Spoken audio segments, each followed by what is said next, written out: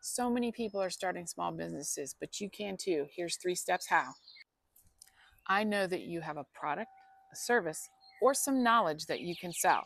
Think about it, make a list, and choose one. Okay, now it's time for a name. Be creative and have it describe the service, product, or knowledge that you're going to sell. Maybe it has something to do with your family, yourself, your past. Pick something creative that you can connect with. Go choose one of the social media platforms Google Domains, YouTube, Instagram. Purchase the domain on Google Domains for 12 bucks a year. That's doable. Or choose one of those other social media platforms and connect it to your current social media. Okay, it's getting windy, so I got to finish this up. All right, now download our mission vision planner. You got to think what is it you're going to do now? Who are you going to do it for? What do you want to be in 10 years? And what are your values? Write that all down. And you've started a business. You can do this.